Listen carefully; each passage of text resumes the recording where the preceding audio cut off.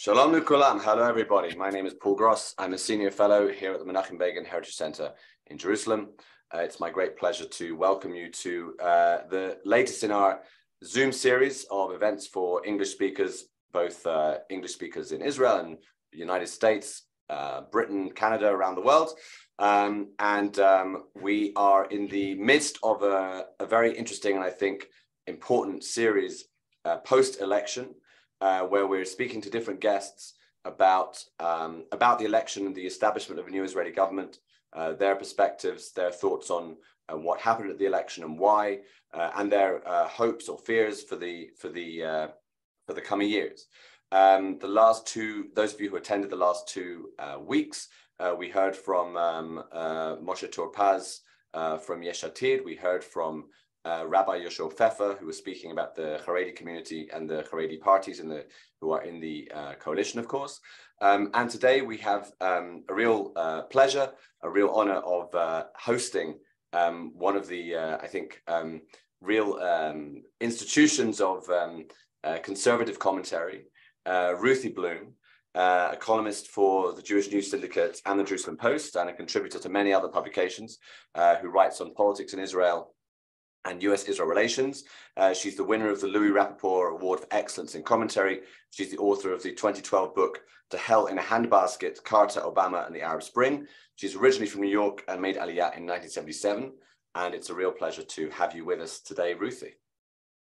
Thank you for having me. Great. So um, as, uh, as regulars on this, uh, these Zooms will know, uh, the format is I'm going to speak to our guests for about half an hour and then turn it over to you, the audience, to put your questions into the chat, write them in at the bottom of the at the bottom of the screen, um, and I will select some of those questions to put to our guest. So, um, Ruthie, um, you are you you voted for the Likud. That's right.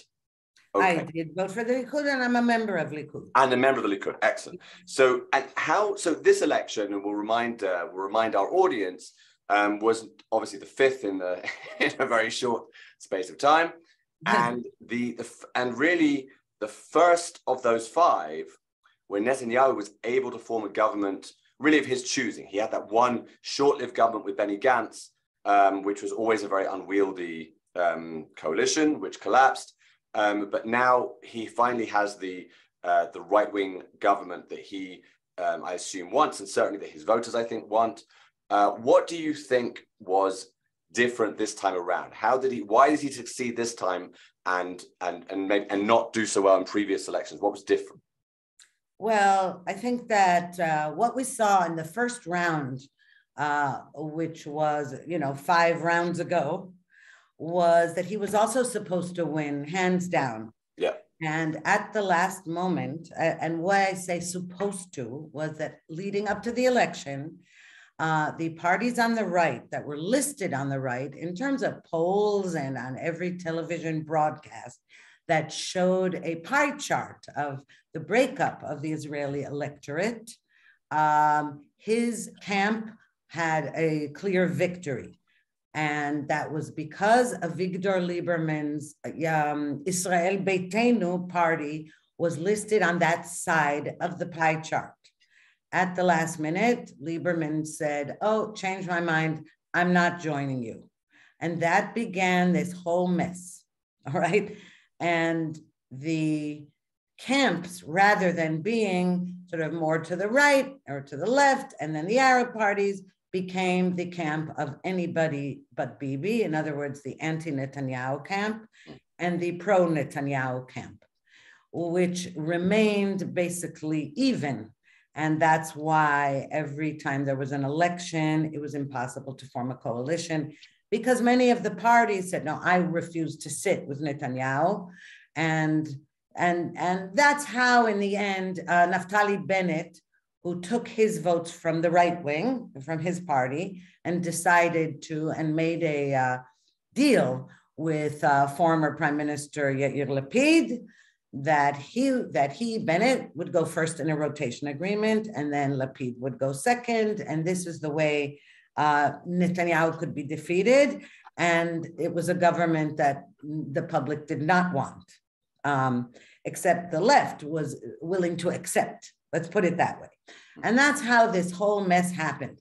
In the meantime, what has happened is that the anybody but Bibi camp proved that it had no platform whatsoever other than hatred, a shared hatred for Netanyahu, and also a shared hatred, and this is, I think, even more important for religious Jews.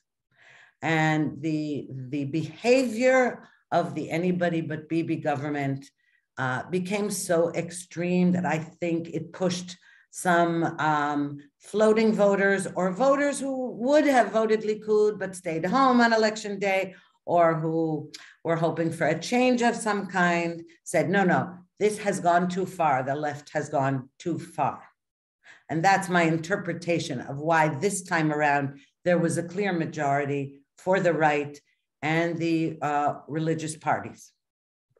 Okay. Um, can you give an example of, of how, in what way the previous government put, and what it did to push the religious away from away from the just I'm I'm particularly I'm also asking because for those of the in the audience who were here two weeks ago, the the member of Knesset we have from Yesh Atid is himself religious, so obviously he would disagree with you. So I'm I'm interested in I'm I'm interested in like specifics. Okay, so it is true that uh, not all Orthodox are the same, just the way not all secular Jews are the same. Nothing is the same. Sure.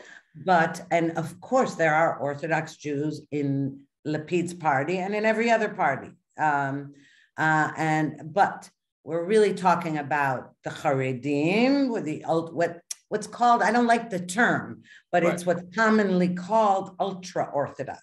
The yeah. reason I don't like the term is that it's really not descriptive because there are different ultra orthodox um, um, factions as well, and and right. and there's Ashkenazim and Sfaradim, and there's you know, people are not uniform. There's not a uniform uh, community. Uh, but the overtones, and not just undertones, overtones hmm. of um, many important figures in, in the coalition that has just finished, ended its term, uh, were openly anti Semitic. If they had been said in any other country, they would have been considered, rightly so, to be anti Semitic comments. Um, Lieberman, uh, whom I mentioned earlier, was responsible for the for this whole mess to begin with. Um, you know, went as far as to say that they should all be pushed off. I don't know, in wheelbarrows, taken off in wheelbarrows with the Likud, and and violence against um, against Haredim increased as well. Just as it's sort of ironic, just as this was happening in the streets of Brooklyn and Paris. Um, you were having this happen in Jerusalem and Tel Aviv. Um, slurs that that would never be accepted. It's one thing, it's bad enough for people to be in their living rooms and making such horrible slurs uh, about Jews or Jews making it about people with side locks. Uh, it's one thing, it's bad enough to be saying that in the privacy of your own home. But to be able to say it um, on video, uh, and you know, in the middle of the street for a woman in Ramat Gan in a playground, to say to um, a group of schoolgirls um, in long skirts, uh, "What are you doing at our playground?" and all you people know how to do is have babies. It's just unthinkable. Hmm. Even if a woman like that used to w- would have maybe said that to her girlfriends in the kitchen, to be able to say that in public and know she was being filmed on somebody's iPhone, it's just unthinkable. And I think the public, the Israeli public, has always been more conservative than it has been far left. And you know, when the left goes too far, there's always a backlash in America as well, by the way. Right. Okay, that's very interesting. So, so, so at, at, least part of the explanation, in your view, is this is this is the the, the perception that there was a that there was a anti-religious, even anti-Semitic, in your view, um, uh, sort of attitude within the within the outgoing coalition. Um, so we have this new government now, um, uh, and we'll get to some of the some of the controversies a, a bit later. But the what are your hopes as a as a Likud voter, as a Likud member? Um, you finally have, after a long wait, um, this the government that presumably you're you're more or less happy with, um, and you can tell us how whether more or less you're happy with it. Um, but what are your hopes for the policies that you expect, hope this government to pursue that you think are particularly needed, are particularly important for Israel?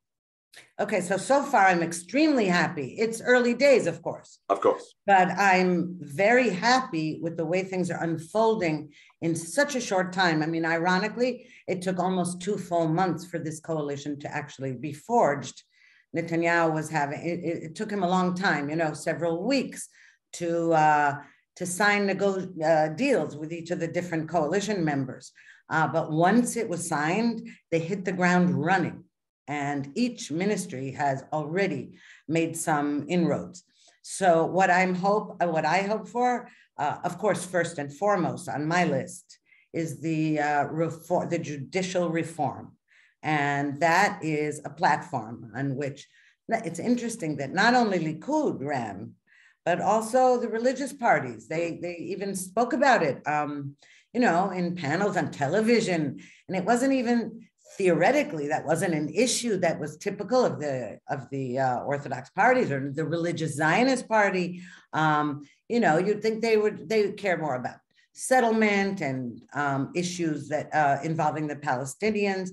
Nope, everyone was on the same page about judicial reform. And um, right now, as you know, and as most people in the world now know, there are these demonstrations in the streets against that in Israel. Yeah. Um, I think that the numbers are exaggerated. And I think that it's disingenuous on their part to say that the, all they're protesting is, you know, pr- they're protecting the hallowed Supreme Court. That's nonsense. They're protesting the loss of the election. They're protesting a whole bunch of other stuff, as uh, as is indicated by their slogans and their signs. And um, and actually they're just you know having one big party of uh, disgruntled uh, i would call them leftists and outside of israel you might call them liberals but i call them leftists yes. So sore losers you're saying essentially. Definitely sore losers which i understand by the way. I was a sore loser uh, when bennett uh, formed that government with the left but I didn't take to any streets to protest it. I wrote articles. I discussed this with people. You know, there when you lose, when your side loses, it's never fun. It's a disappointment. You want to work to to make it better the next time for yourself. Uh, this is a different story, and I think it's outrageous. Okay, so let's let's get let's get into the judicial reform a little bit.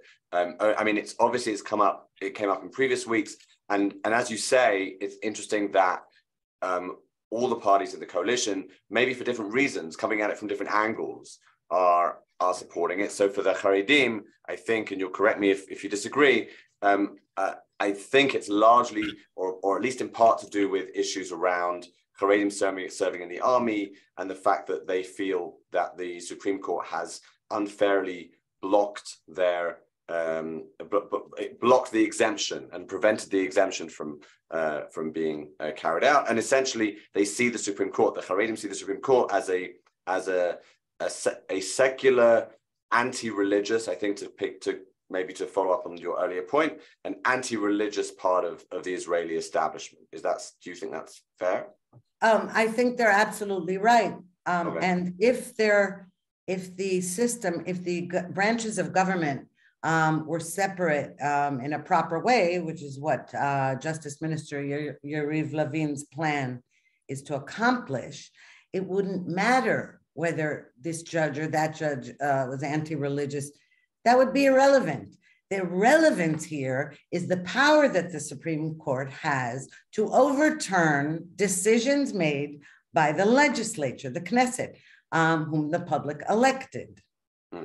So that's the issue. Um, and the bias, the whole point is, you know, there is no such thing as a person who's unbiased, including judges and lawyers. Of course, they're human. They can't be unbiased. What they can do is try their best to uphold the law and implement the law and discuss it and and you know judge it by its merits the trouble is the way that the the judges have uh, been appointed as they appoint one another It's an old boys network. It's um, a very uh, uh, insulated elite group. Um, and it took uh, much, there was a power grab on the part of the judges. And it was self, they're like self anointed uh, kings or something. That's the issue here. So the Haredim are right that they've been, uh, they've had uh, laws overturned that would have helped them. That's true.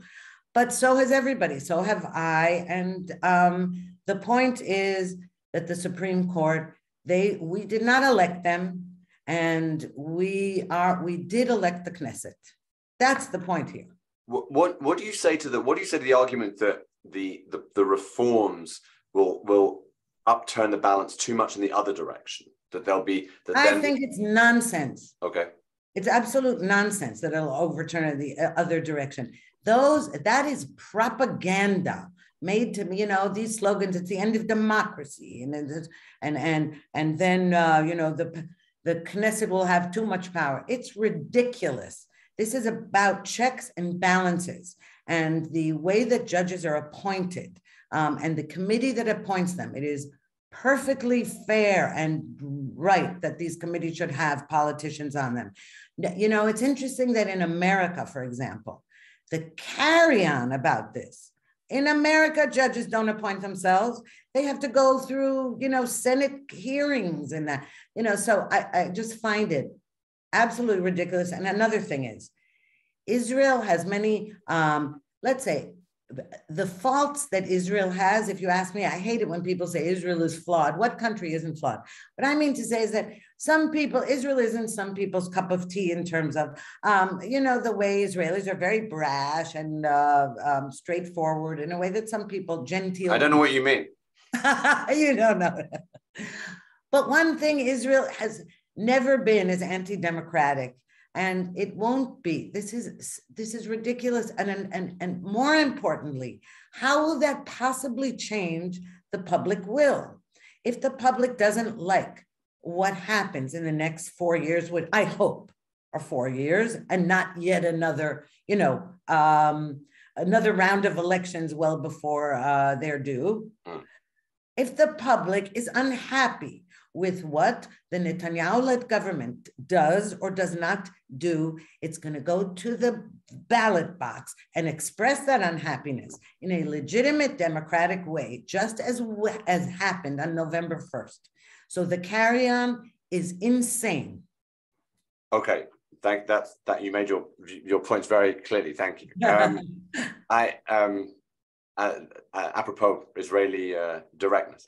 Um, yes. so, right. that, so let me ask you this: the uh, as we know, governments in Israel are always coalitions. This government is a right-wing government, but a government made up of different parties. We know that you voted for Likud. You're a member of the Likud. Um, do you have any?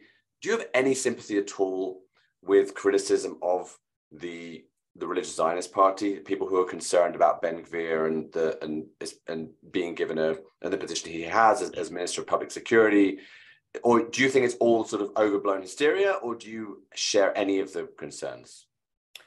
Uh, I share none of those concerns. I am okay. thrilled that Itamar Ben Gvir is the Minister of National Security.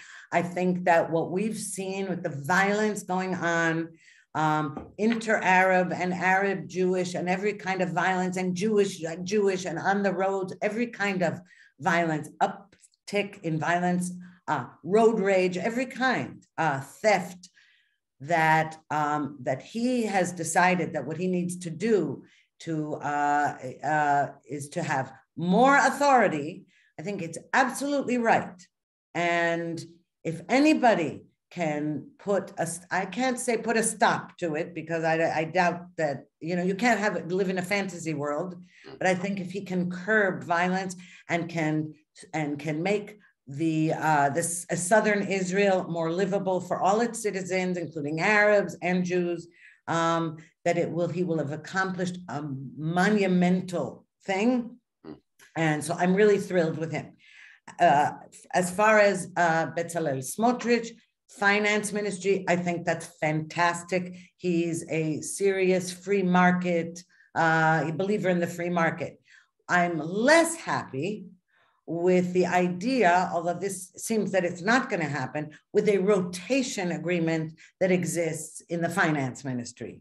Because as it was originally, he was going to rotate in the finance ministry with Aryeh Deri, the head of Shas, right. who was who's just less free market, let's say. oh, that's right. Uh, who's who's a socialist. Yeah. And so that was the only that was my caveat to this whole situation. I understood okay. that netanyahu had to you know in order to put this coalition together he had to make certain deals that might not have been uh, ideal. Uh, but i think that itamar ben gvir is in the right position for him and i think that smotrich is in the right position for him. I think it's terrific. Okay all right you're a happy a happy customer. Um so far so far. So far so far indeed a lot can happen. Um so before I go to um, questions from the audience, there's a. I wanted to ask you, as an as a as an American Israeli with your with your sort of American Israeli hat on, should we say, um, and someone who's obviously very much in touch still with American politics and society. Um, how do you see the current state of play with U.S.-Israel relationship? Because obviously we have um, there's a lot of potential, it seems to me, for for tension and disagreement. It could be around Iran, it could be around Judea and Samaria, it could be around all kinds of things that maybe the, the, the controversies around about around the or the alleged controversies around the judicial reforms. I don't know. Um, and on the other hand, you know, uh, so far it seems to me, and you're, I'm sure you're keeping a closer on this than I am, but it seems to me that the, the administration hasn't really re- sort of li- hasn't really come out in any major way. They haven't listened to sort of the calls of people like Tom Friedman and others mm-hmm. who've who've said we re- we want you, President Biden, to come out very loudly and publicly rebuking the Israeli government. And so far, they haven't done that. It seems to me. So, is that? Do you think that's is that likely to continue? Is that how do you see that developing with this with this Israeli government and the current um, uh, American administration? Well, first of all, keep in mind that America Israel relations uh, depend very much also on who's in power in America. So, of course, if there were a Republican administration um, and a Netanyahu government, it works perfectly well. Um, the current Biden administration, we also saw what happened when Netanyahu was prime minister and Obama was president of the United States. Yep. There was tension. And if anybody knew how to handle it, it was Netanyahu. You really have to hats off to him because that's no easy feat.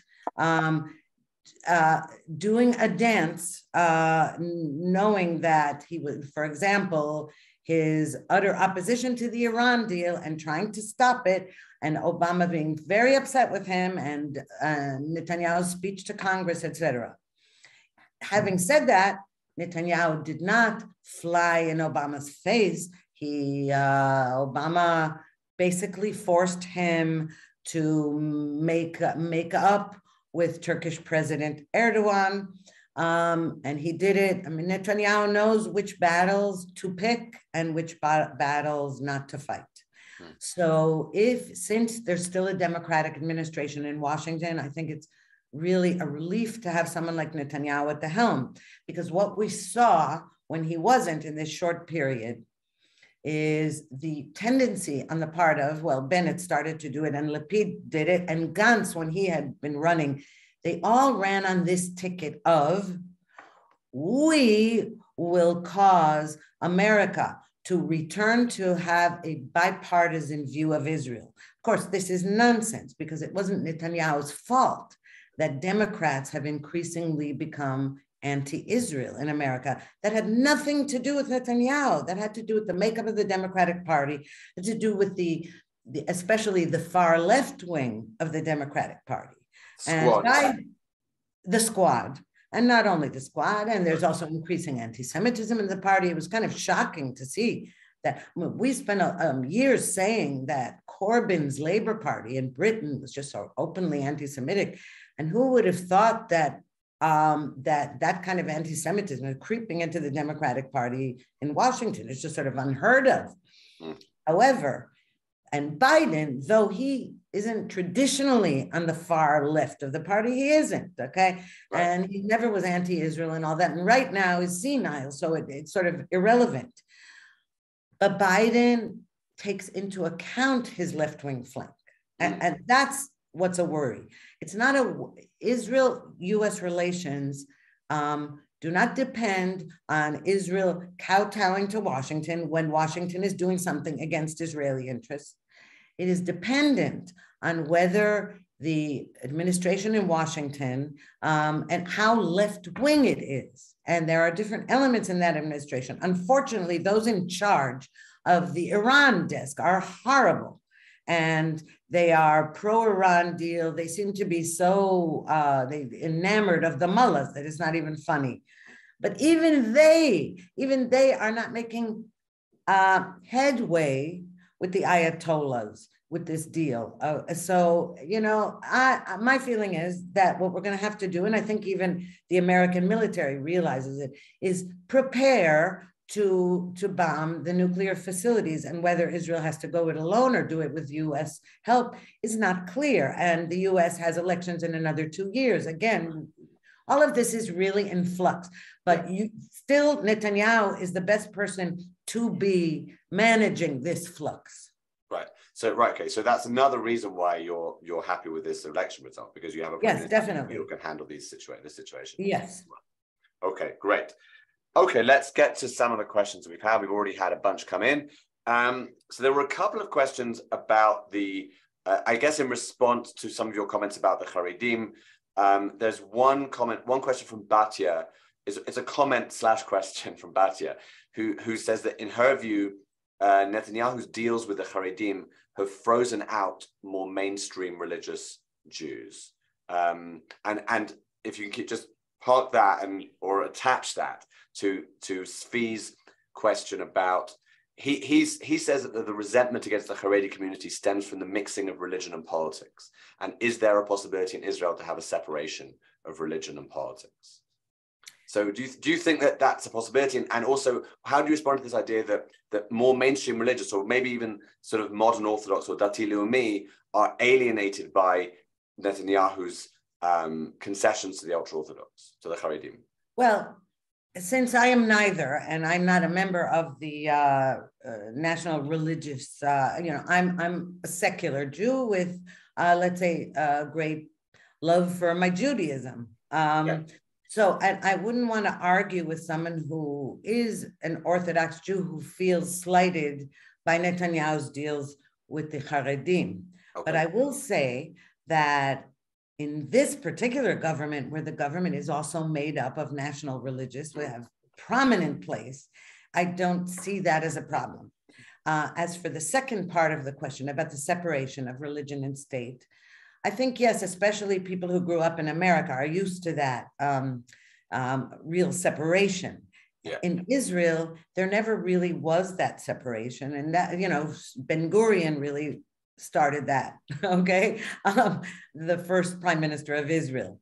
And it's, um, and what I would say is the trouble in Israel is that the all, all sectors in the Knesset they're not divided geographically as they are in the United States, for example. So they necessarily are divided by, um, you know, almost identity or sectoral politics. And that is the nature, I think it really is a function of the size of the country where the geographical politics are left to the municipalities, the local right. electorates. Because right. the Knesset really is made up of so many, you know, as they say, I don't like to call it identity politics because that sounds like, you know, race and gender and all that. And I didn't really mean that. I meant identity in terms of your religious observance yeah. or other other types of identity. Yeah, Israel's made up of sectors in certain ways. And, sectors, and it could be your background from Europe or your background from uh, from other countries. Uh, like there are Russian, you know, uh, yeah. Russian Israelis who feel an affinity towards Russia. In that sense, identity politics, yes, and and so I don't know if it can that can ever change unless unless the electoral system were to totally change here. Uh, then maybe you could see that happening. But I and also one other thing I just would like to say that this election showed that even secular people really want to go back to they want the days of true patriotism for israel sovereignty and a love of judaism um, it's not enough for us to have beautiful beaches and gorgeous girls and the best gay bars and the best sushi bars and the best high tech. We care about being a Jewish state. And I think that the results of this election showed that.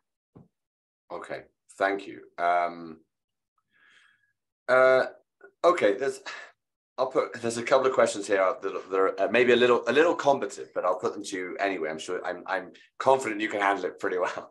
Um, I'm not, but we'll see. well, uh, listen, if you don't want to answer, you can say you don't want to answer. That's also okay. Um, uh, so look, um, one of the questions, I guess, this is a response to your sort of endorsement of Ben Gvir.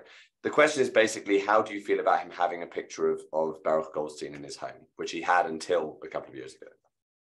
Well, I think that's appalling, of course. Um, you know, just when I support someone, that doesn't mean that I think that everything he's done has been great. Hmm.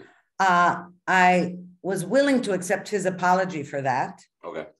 And in my defense, I was even willing to accept Mansour Abbas, the head of the Ra'am Arab Party, the Muslim Brotherhood Party, who got up and said that he has changed his ways and he thinks Israel is here to stay and he wants to be part of the uh, discussion. I defended him for saying that. I said, okay, let him prove it, okay? And that's the way I feel about Ben Gvir. I think that if a Muslim member of the Muslim Brotherhood deserves to be suddenly um, let in to uh, a coalition and also accepted by everybody for saying that. I don't see why a Jewish member of parliament can't be accepted for apologizing. Okay, thank you. That's it. Thank you very much. Um, and Jack Coleman asks about because this is a reference to the I think the very first thing you said, talking about the anti-Jewish, um, anti-religious, anti-Jewish rhetoric from the left. He said, "Do you not think that there is that there's this kind of he calls it bile coming out coming from both sides that, that there was also a lot of bile said about the left by the right oh you mean the well first of all i would make a distinction uh, between bile aimed at uh, religious jews and bile aimed at the right in general okay uh, but i don't like bile in general so let's put it that way i would prefer to have even screaming fights, but let them be clean. You know, bile is not acceptable. However, to it's one thing to attack the right for its policies. It is quite another to attack to to call a Haredi person some kind of dirty, slimy, you know, or like what happened during the pandemic. Uh, they were blamed for spreading the germs everywhere. And when Israeli secular teenagers, it turned out there was a whole outbreak in uh, in a nice neighborhood in Jerusalem. Suddenly, silence, silence. They weren't germ spreaders. Now, if you want to attack the right, the right and left have always attacked each other with great vehemence in Israel and everywhere else, actually. Um, so I would say let's erase the bile. But yes, the right wing. I am uh, a member of the right, and I spend I, I spend a lot of time attacking the left, uh, but not personally, uh, not on a personal level. I attack their ideology and their politics. Okay. Okay. Thank you. I think we can all agree that less bile is good. Um, Shmuel Yerushalmi asks Do you think that the demonstrations and the protests that you've already mentioned and criticized, do you think that they create any kind of risk to Israeli security or in some way to Israeli society? The demonstrations themselves, yeah. or the um, no, I don't think that. No, I don't think they present a risk to Israeli society. I think that they are, they look like a mass tantrum to me, um, mm-hmm. and um, they pose a risk. I'll tell you one thing: uh, any any demonstration, including in, on my side, and including when they come from non-political groups, any demonstration that blocks roads should be banned because uh, you know that is a risk. That's a risk to, to be, being unable to ambulances, ambulances and fire fire trucks. Yeah. Yes, yes, I think that's a huge risk. And demonstrations that block roads should be forbidden. And I don't care who's demonstrating, okay. including my own side. No, I think that is horrific. Uh, do demonstrations pose a risk? No, they don't. They're uh, you know, I, I happen to disagree with these demonstrations. And the last time I participated in an actual demonstration, a serious one, was before uh, the disengagement from Gaza. 2005. And that's right, in 2005. And it was a mass demonstration. I can tell you one thing we certainly didn't get as much coverage as this, as this one is, these demonstrations. That I can say. Okay. Fair enough. Fair enough. Um, okay. Um, so this is a question relating to the judicial reforms.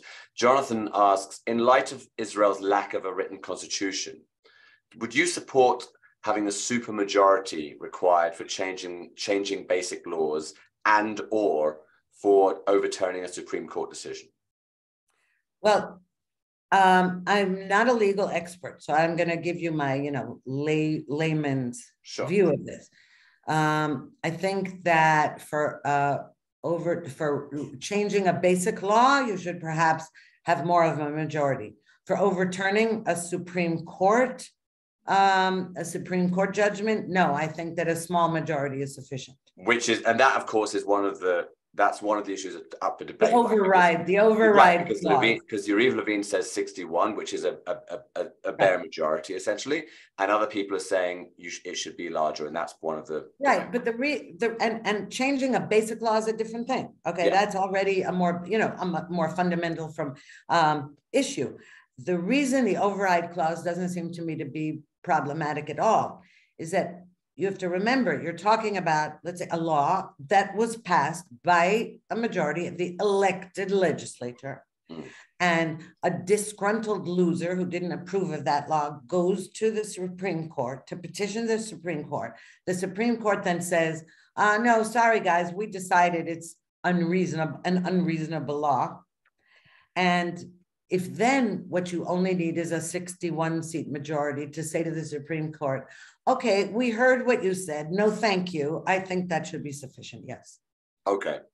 Um, thank you. So th- there's a, a, there were a couple of questions that came up about issues of corruption or accusations of corruption and and what and some Batia um, who in another point says that there was no one this time around that she felt she could vote for um, also says in a question here that she says the biggest turnoff for her um, for the Likud was dirty tricks. For example, bribing MKs from the previous coalition to to give up their seats and join Netanyahu in exchange for safe seats in the Likud. So that I guess in particular that's Idit Silman, right, who left who left Bennett's party, which is which was one of the things that brought down the last government, and and she now has a has a Likud uh, seat.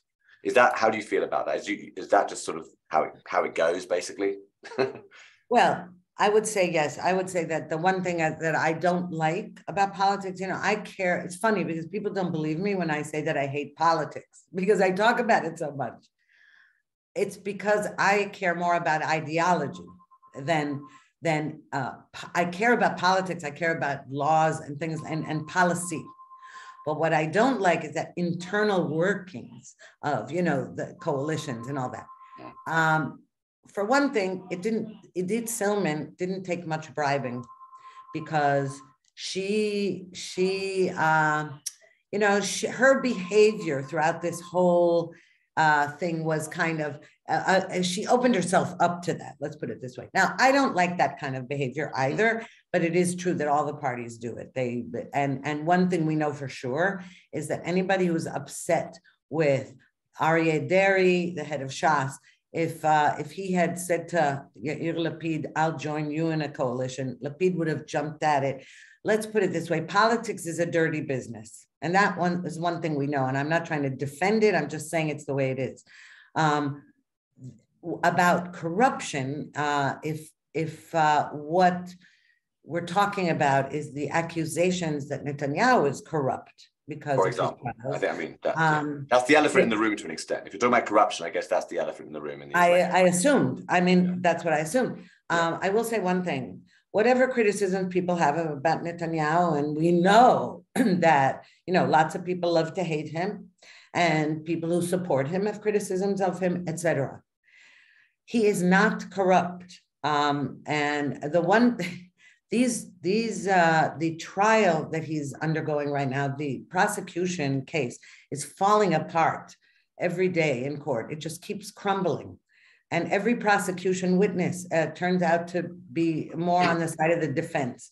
Um, and when you, you know, unravel these cases, you realize that the worst that you could say about them. First of all i think most people don't remember anymore. There are three different cases you know and they get all mixed up in people's minds you know one is the champagne and cigars and another is the positive coverage in the media in exchange for um, for um, deals that, that have to do with the big news outlets in israel.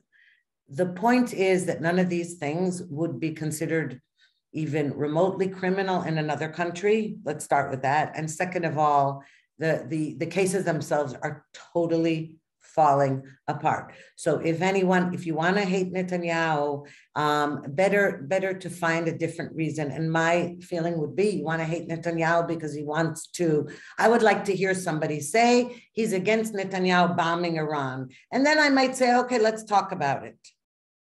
Okay, that's what I feel about these discussions about Netanyahu is that they are on such a low level and um, irrelevant to Israel's current situation. In the and just out of interest, while we're talking about sort of politicians in, in like in under the spotlight in this way, what was your view of the Deri situation? Do you think? Because I mean, I guess there's two separate questions. There's whether you think it was right for the court to rule as it did, and whether in any case whatever the court did, whether you personally think that Deri should be should be in in the in in a in, as a ministerial position, because in a way, I think it's two separate questions. They are two separate questions, and I'm of two minds about one, and of uh, one mind about the other. Um, I think this the court should not have intervened in that whatsoever. I think the, uh, enough people voted for Deri specifically. It wasn't just that they voted for Shas; they wanted him at the head of Shas. Um, and he was appointed by the government. He was, he's in the coalition. And so I don't think the court should have intervened in that. Now, whether Deri should or should not be in politics and whether the deal he made after he uh, had a tax violation, his most mm. recent one, yeah, yeah. whether that, uh, whether he should have honored it or not. I will say one thing that I disagree with the court that the law, what I do agree with is that the law specifically states that someone who served in jail cannot serve as a minister. And Deri did not serve in jail for this last tax uh, breach. He was he had a suspended, suspended sentence, sentence yeah. and the law does not say that. And because in Hebrew, though, a suspended sentence and jail time start with the same word, um, that it was open to you know some kind of talmudic uh, you know discussion. Okay. Okay. Interesting. Okay great. Thank you. Um, there's a question here a couple of questions which are interesting because they're they're kind of criticizing i guess from the right in a way. So one is one is about the the very very recent news of the the um the uh, um, expulsion, destruction, however, if you want to be evocative, or removing of uh, of a unauthorized or illegal settlement that was just established um, by the defense minister um, Gallant, um, which has been criticized by Smotrich and Ben Gvir and some others. Um, and one and Lib Share asked the question: How do we how to get the defense ministry to listen to Ben Gvir regarding the destruction of new Jewish settlements? That's how she's phrased it, but I, I assume that's what she's referring to. Yes, well, again, here I would tend to wait a little bit because Netanyahu also made a statement. Right. Um, about, he was actually quite clear. I thought he was actually quite no illegal about it. Illegal right. on either no illegal Jewish settlement, no illegal Arab settlement. The yeah. second part of his statement is the new part because there has been so much illegal Arab construction going on that it's it's just unbelievable. It's outrageous. Okay, so if he sticks to that, fine. I would say give this a little time. Second of all, I'd like to make a sort of broader point about this specific one. Please.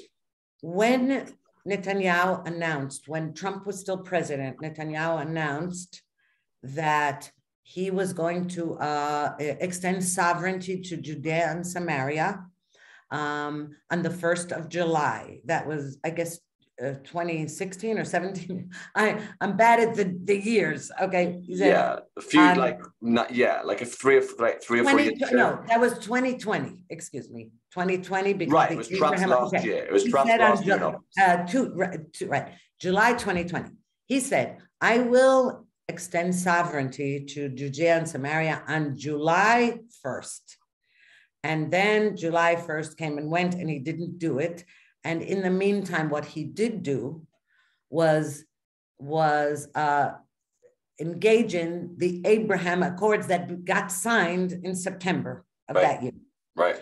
Now, when he initially didn't do it, and he said, because the, I know that my right wing friends at first went into a tizzy. This is awful. He promised, and now he's not going to do it, and he's not going to do it. So, just a minute. And when it turned out that what he did was, he said, you know what? This is more important right now, making peace with the Gulf and, um, you know, postponing postponing sovereignty over Judea and Samaria. I happen to agree with his position. I thought what he was doing was playing chess in a necessary way. Mm. And uh, so, what I, uh, this was all a long answer to bring us back to the specific question about the de- demolition, that Ben Gvir and Smotrich's opposition to the demolition of uh, this settlement. I would, I know that they both have a duty to their, their base. And so when they do that, it doesn't bother me. Uh, but I personally feel that you have to give this time because just Netanyahu um, is playing chess and to jump in right away and start attacking him for not being right wing enough. Now, again, I think that they did that. I don't, I think if, if you were to ask Smotrich and Ben Gvir in, in private about this. They they also know this, but hmm. they have to they stick, have to say what they. They have to stick to their guns, so to speak, literally and figuratively to their guns. And that's fine. That's their job with their constituents. But Netanyahu's job is a greater job. He's got to put all these pieces together. And so I, I'm not quick right now to attack him or praise him for this move. I just want to wait to see what's up. Right. So pa- past experience tells you that that he's he has this ability to see the, the bigger picture, and he might be, and that's probably or could well be what's happening here as well. That's what I think. That's what I hope. Okay. Oh. Fair enough. Um, so Harry Harry Schneider, um, he asks. It's kind of two questions in one, really. He he says that it's going back to the Haredi point, and he says, "Where will Israel's tax base be which the Haredim depend on when high tech businesses um, pull out um, and can't get VC investment due to judicial reform. So there's two, so two questions here. One is one is and and for people who don't know, there has been talk from some in the high tech sector who are concerned, who've, been, who've expressed concern in the in the form of open letters and things saying that judicial reform or or percep- even if it's a perception, I guess, of um, a less democratic Israel would affect investment in the high tech sector. And the second point is this question of, of the Haredim and their dependence on um, uh, on the non-Haredi public, essentially. That's at least that's the way it's it's that's the way it's framed. I'm interested in your views on both of those things. Okay, so I don't know which one to start with. For okay, let me start with the high tech sector. Sure.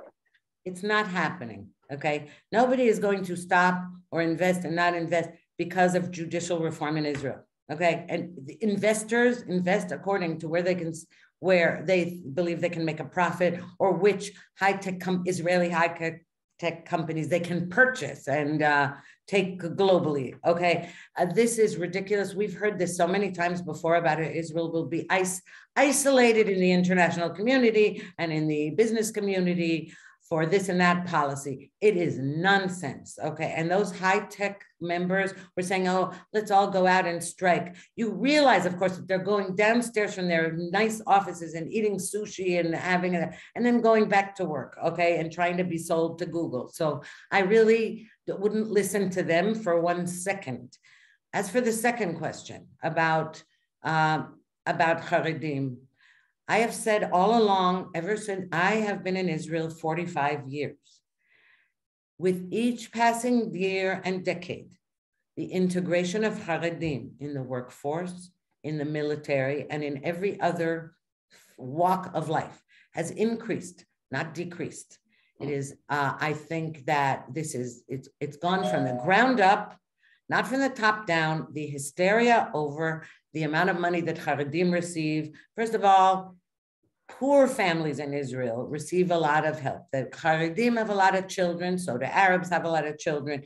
Poor people don't pay taxes, even if they're not Haredim, because they don't make enough money to warrant it. All of these things uh, lead me to think that, first of all, I, I do not have that view of Haredim.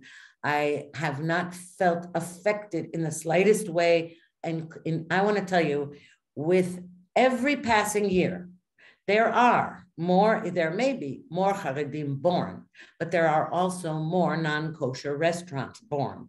There are more stores open on Shabbat born.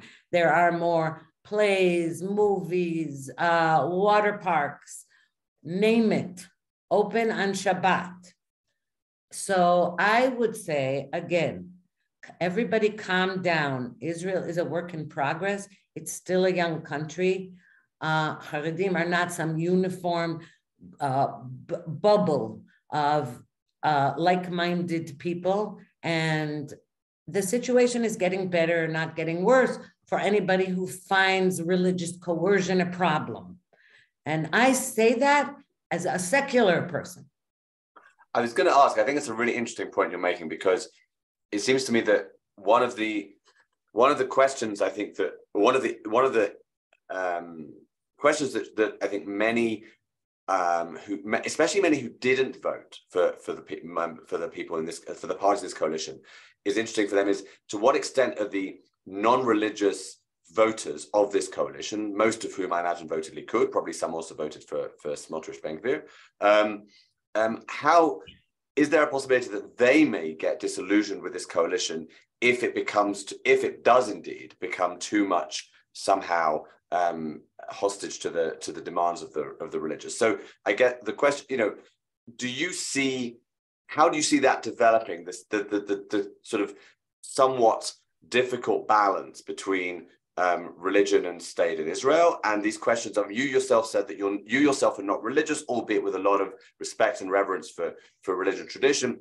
Um, but would I assume you, uh, you can tell me if I'm wrong, I'm making an assumption. I assume you wouldn't want to see more um, more shops closed on Shabbat and more sort of a, more more imposition of a of a religious lifestyle in secular parts of Israel and things like that. I don't know, but do you see that kind of thing happening anyway, or do you just no? I, I, first of all, first of all, I don't see it happening. Hmm. Um, second of all, I have no problem whatsoever with enabling certain events to segregate women and men. I don't see what the problem there is. Mm-hmm. Um, feminists want to have their all week, all female weekends, they can do it. I don't see the problem. If there's a, I see, it doesn't mean that I have to do that. Right. I don't see, I see this as a non-issue. I think it's perfectly fine to have um, to, to, uh, an event that or women and men want to be separated in in stands or something like that. I don't see a problem. And and accusing Israel of becoming like Iran is just it's just it's not only wrong, it's immoral even to make such a comparison.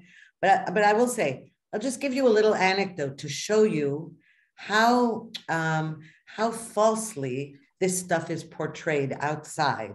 My own brother asked me, uh, I think maybe just after the election, or I don't remember, he said something similar like, well, do, what do you feel? They'll, they'll end transportation on Shabbat? And I said, we don't have transport, public transportation on Shabbat. And he said, You don't? I mean, not even in Tel Aviv? And no, we have private right. transportation. We have, right. we have, there is such a thing, but we don't have public, but we don't have it now. And he right. was surprised to hear that because the way it's being portrayed, portrayed is that, okay, now no more transportation, no more shops, no more this, no more this. Also, Netanyahu said, don't forget, people, I'm the prime minister and my party has the most seats in right. this coalition. So don't worry about it. And I wouldn't need Netanyahu to tell me not to worry about it. Okay. That's what I'm saying. Okay, great. I, I think it, it actually takes us back to the to the Supreme Court point because and your and what you said earlier about how the the Haredim have their own issues with the Supreme Court because this question of segregation was something the Supreme Court in the past ruled was was um, was illegitimate, was not allowed, was um, separate, can never be equal, that kind of thing. Um, and others, and as you're saying, there's you know the argument is well, you know, if if there's no reason why there shouldn't be a small number of events which religious people feel more comfortable going to because they are segregated or because they are you know like a uh, like we have like beaches that are just for for, for like religious um, beaches that are single single sex beaches that kind of thing. Um, I think uh, it's an. It's, and anyway, why would why would I care if I don't want to go to a concert with only women, or I don't want, or I disapprove of an event, or organizers um, who want to have it separate? I don't have to go. Right. What is the big? This doesn't affect anybody's life. What it's doing is giving more freedom to a greater amount of people. so Right. It's right. It's an interesting. It's a very interesting. Um, yeah. It's, it's. I see what you. Yeah. I. I. I, I mean, why should a Haredi woman who, according to her own thing, doesn't want to go to an event with men, or men who don't want to hear a woman singing, or something like that, why should they not also be able to go out and have a good time? I can right. go to any concert I want. Why can't they also? I, I, I honestly think of it as a totally non-issue. Not an issue. Okay. Fair enough. So let's let's conclude with this question from Sveberg, who who asks whether there's a concern. I don't know whether he means your you concern or general concern, but concern that Netanyahu's decision making is influenced by his legal difficulties. And it's again, there's a nuance here because I think it is separate to the question as to whether you think the his his trial is legitimate. It is separate. It's we've know, made clear, you've made clear that you don't think it's it's it, Correct. The, the, the accusations are, are, are founded or fair, and that's fine. But regardless of that, the fact that he is on trial and currently is on trial could could is that a reason for us to be concerned that it could affect no. decision making? Absolutely not. Absolutely okay. not. And I'll I'll give you let's say something that might um, serve as evidence or at least a clue. Okay. During the pandemic, uh, Netanyahu was, I would say, my main criticism of Netanyahu, interestingly enough, was that he was too stringent on the lockdowns. I mean, I'm uh, more for, I, I found in general that the world responded a little bit too crazily to the pandemic, and Netanyahu really locked us down a lot. And it was great that he brought in vaccines, et cetera, et cetera. But uh, this was my criticism.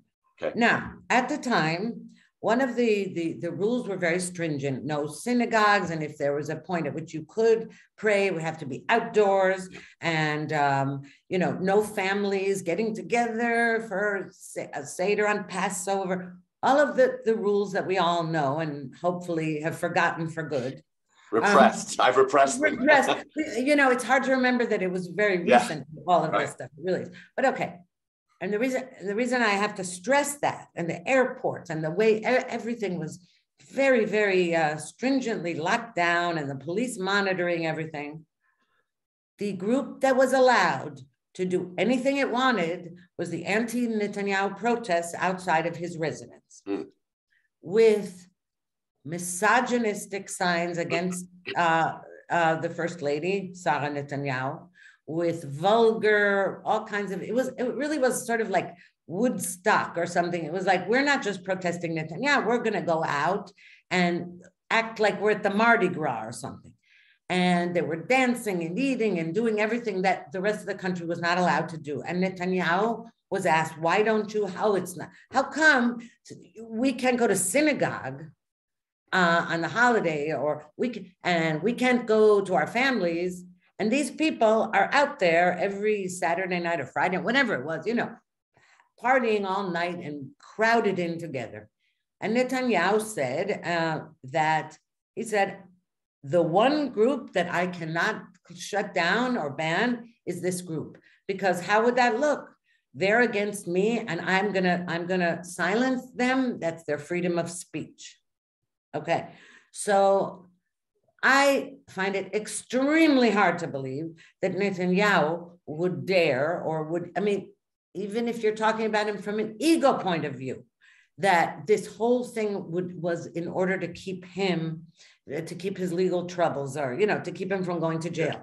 For one thing, let's keep in mind that this trial is going to go on for three years, another three years. So even if, if you think about it, the point is, whenever this comes to an end, this trial, he he'll, it'll be after the next election. You understand? So it doesn't even affect him now. And that's why I don't believe it for a second.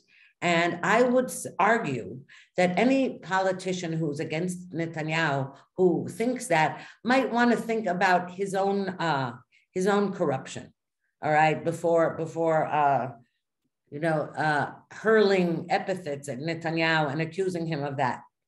This whole trial, I mean, it's true. Some of us think this whole trial was a farce to begin with to, out, to get him out of office, and it didn't work. Okay, so he's back in office. So to say that he wants to reform the judiciary because of that, it's just cynical and wrong. Okay, Ruthie Blum, thank you very much for your time. Thank you for being uh, forthright in your opinions, which I expected, having been as a reader of your of your Jerusalem Post column. Um, much appreciated.